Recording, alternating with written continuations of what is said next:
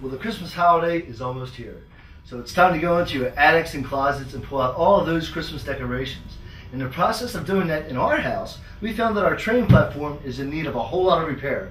So we decided instead of making another rectangle one that sits on the ground with the tree on top, we decided to go ahead and make it 18 inches off the ground with a round top with the round track. And then the tree will sit right on top in the middle. So come join us for a few minutes and we'll show you how we do it. First, center and attach your plunge router to your piece of scrap wood. Go ahead and make your hole.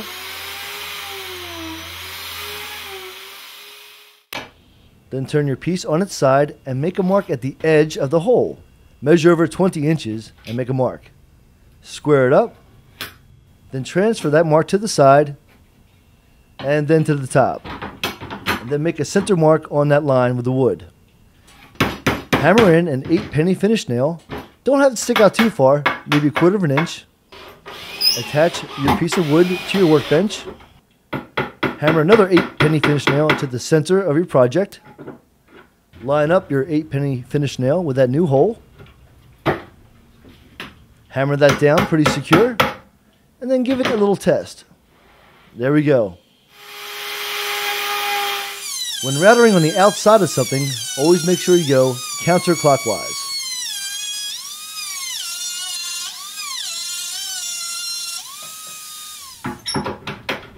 Remove your jig, and then just sand your corners so nobody gets a splinter. So there's a trick on how to make a perfect circle.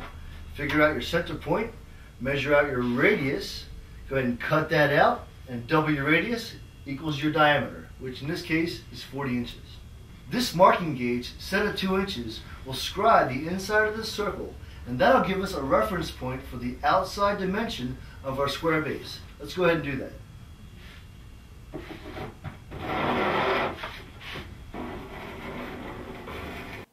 Now with a framing square, draw a perfect 90 degree X off of the center. Then box out that square where the X meets the scribe. When measuring where the X meets the scribe, we came up with 25 and a half inches. So I just got a call from the boss. And it turns out we're going to change the height of the overall tree platform.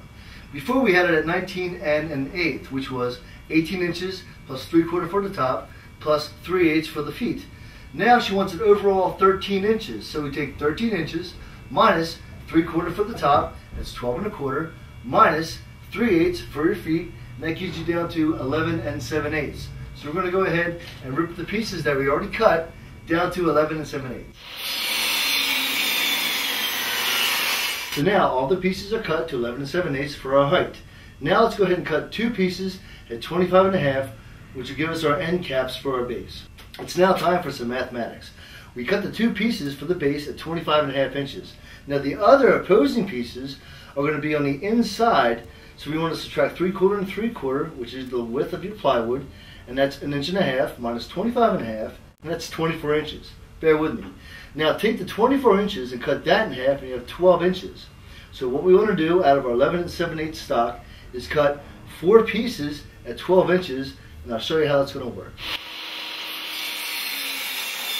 Next, let's focus on the front and back panel of our base. We're going to go ahead and wrap the perimeter of one of the pieces with 1x3. That'll give us a guide to go by with our above bearing router bit to router out the inside for an access panel. Screw your piece down nice and secure. Grab your plunge router and get ready to do a clockwise cut. Now, use that piece as a template for the other panel. Okay, now we have the front and back of our base for the tree stand, and it's got the access panels for wiring or whatever we choose to do so in the future. So now the other two sides are going to be two pieces each. I'm going to put those two pieces together, and then with a butt hinge, I'm going to just center that butt hinge on the seam of these two pieces and put it in with some screws. Now I'm using longer screws. Number one, I don't have shorter screws. Number two, they're drywall screws. And the long drywall screws are a piece of cake. You just drill it in and then grab your hammer and tap it off on the other side. And I'll show you how we do that in a minute.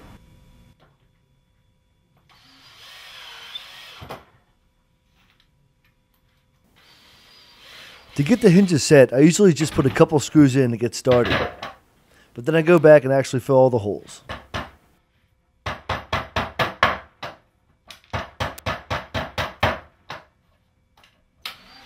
With that same panel, flip it over and now put four hinges, two top and bottom on each side, and have the barrel of the hinge flush with the edge of the panel.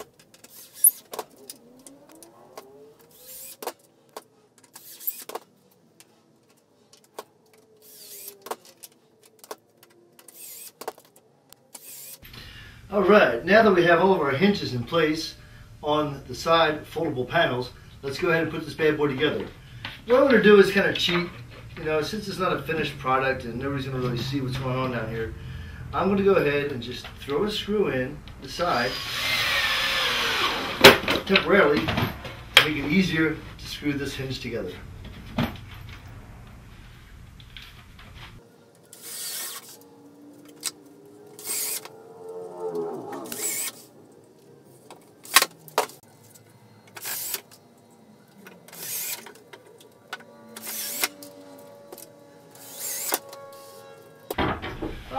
Well there you go.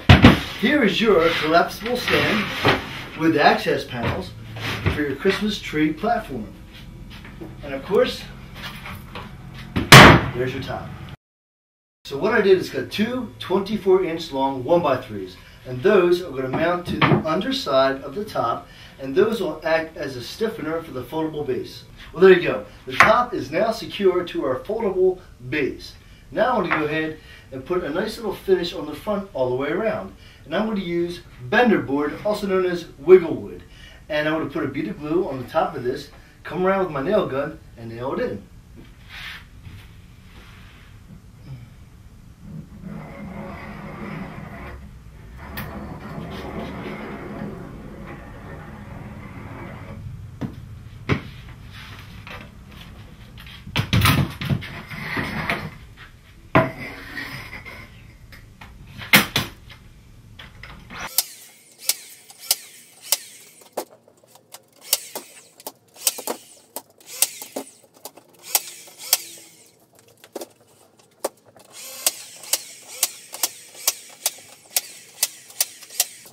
And don't forget, have a wet rag standing by to clean up that excess glue.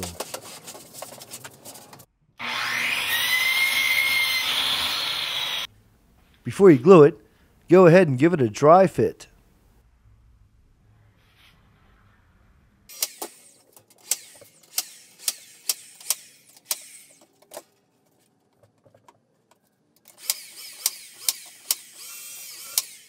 So there you go. That bender board gives this a finished look.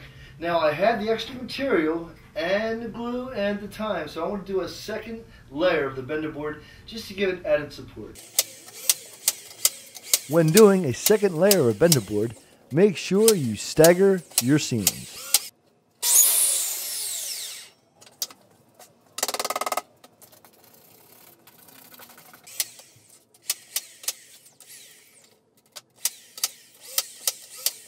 When doing a project like this, it's always great to sand down those corners to help avoid splinters.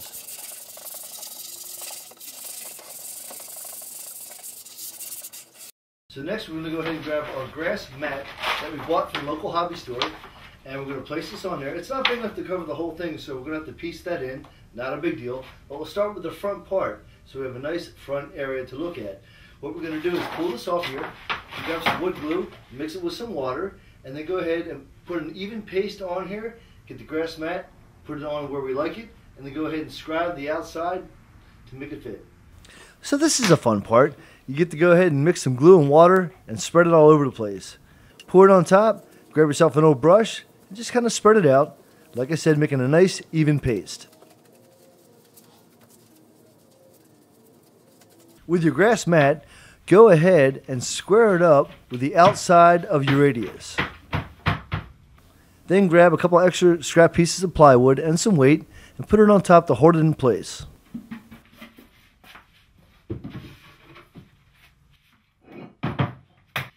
After it dries for maybe 10-15 minutes, come back with your sharp razor blade and go ahead and score the outside radius.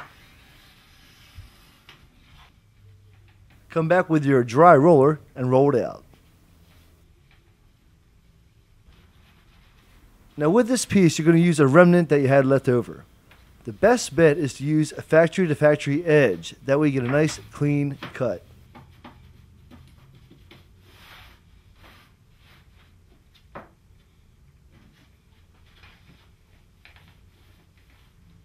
And again, if you can, use whatever type of weight you have to hold it in place while you trim the outside radius, roll it down, and let it dry.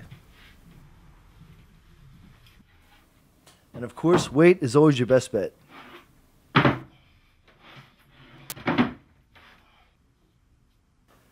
Now just go ahead and make sure you have the same distance from the outside of your track to the outside of your platform. And then nail it down.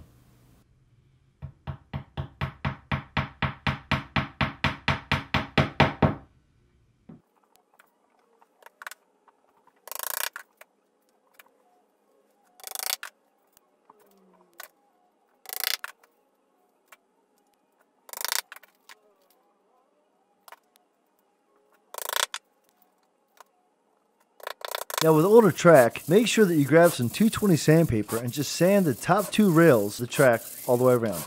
Well, there you go. The training platform is built. Let's go ahead and take it upstairs, put the new Christmas tree on top, and see how it looks. Well, I hope you have fun building this, because I know I did. This is for big kids and small alike. So I'd like to wish you and your family a very happy holiday, and God bless.